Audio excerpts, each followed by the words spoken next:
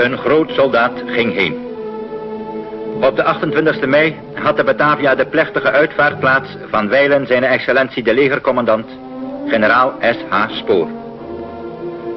Tevoren was gelegenheid gegeven in de Chapelle Ardente in het sterfhuis een laatste groet aan de overledene te brengen.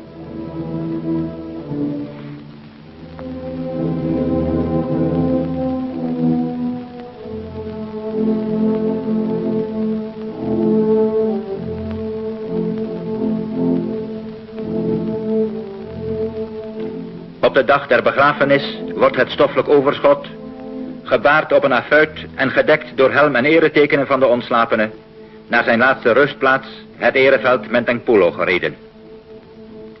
Groot is de belangstelling van Batavia's burgerij voor deze plechtigheid. Duizenden hebben zich langs de route opgesteld en allen brengen hulde aan de nagedachtenis van de betreurde legeraanvoerder. De stoet wordt gevolgd door een gemotoriseerd gewapend geleide. Amen.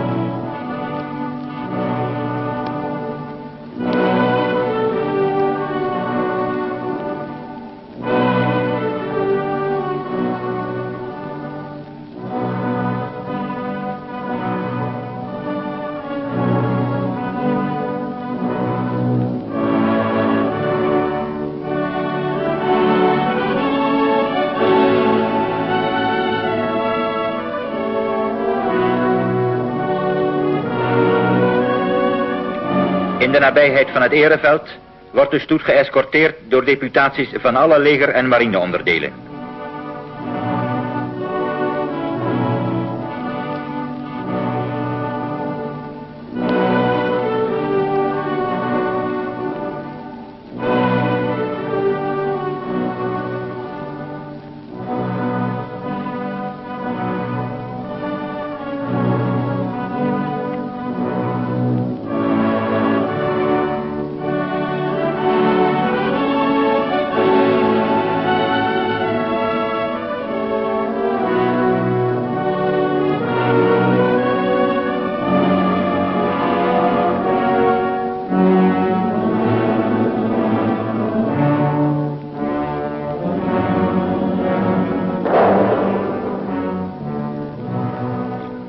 Op het ereveld begeven de autoriteiten, waaronder de hoge vertegenwoordiger van de kroon Dr. Beel en de vertegenwoordigers van Hare Majesteit de Koningin en zijn koninklijke hoogheid Prins Bernhard, zich naar de plaats waar in enkele woorden afscheid genomen wordt van de overledenen.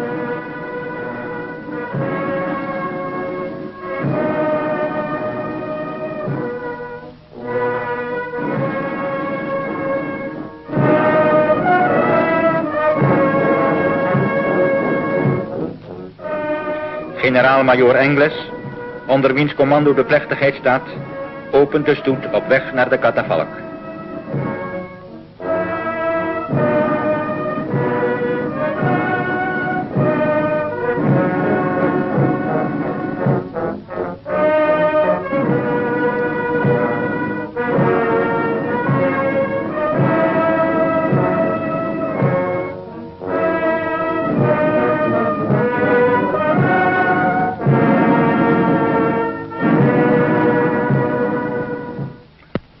Tromgeroffel leidt de plechtigheid in als een eresaluut.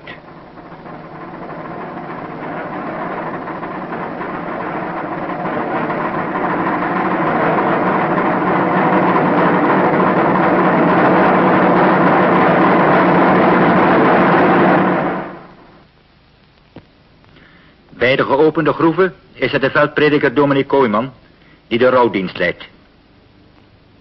Onze hulp is in de naam van Hem, die hemel en aarde gemaakt heeft, die trouwen houdt tot in eeuwigheid, en die niet laat varen de werken zijner handen. Amen. Hij besluit zijn woorden met het Onze Vader. Onze Vader, die in de hemelen zijt, uw naam worden geheiligd, uw koninkrijk komen, uw wil geschieden gelijk in den hemel, alzo ook op de aarde. Hierna spreekt zijn excellentie Dr. Beel.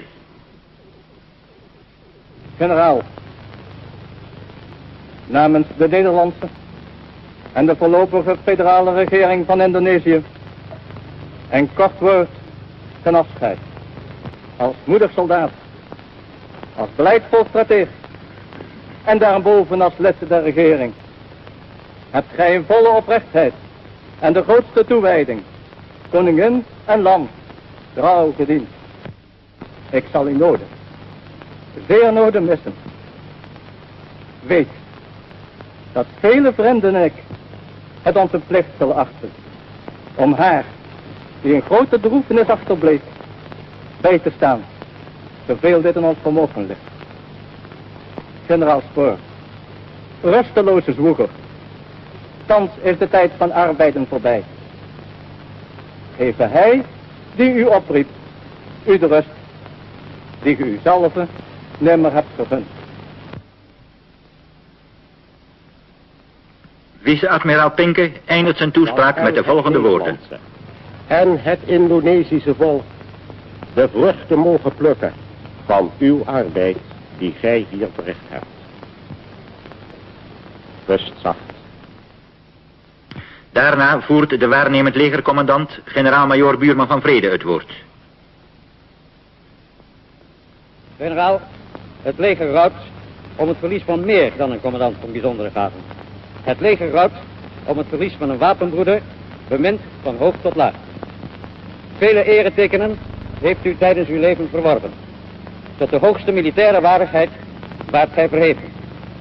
Mogen het leger bij het verscheiden van zijn commandant u in de geest het mooiste ereteken geven dat het heeft te geven.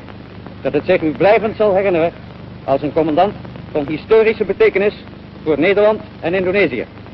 Die als militair en als mens was. Een primus inter pares.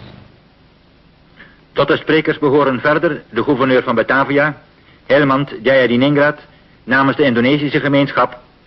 En het slotwoord wordt gesproken door generaal-majoor Engles, als persoonlijk vriend van de overledene. Dan wordt de kist ten graven gedragen. Als slippendragers fungeren de generaals-majoor Mouillet, Alons, Baai en Schotten.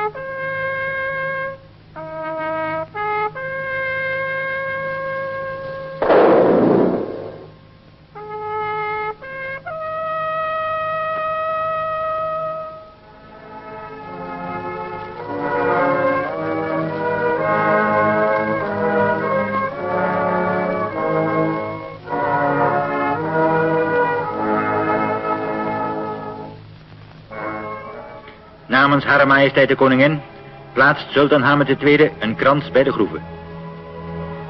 Mevrouw Spoor neemt afscheid van haar echtgenoot.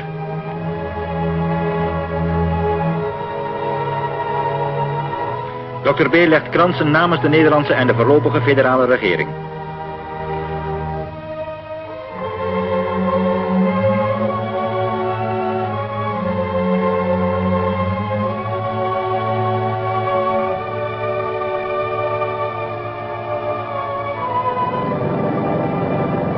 Dan volgen kransen van marine en leger en honderden bloemstukken uit alle kringen der bevolking uit geheel Indonesië.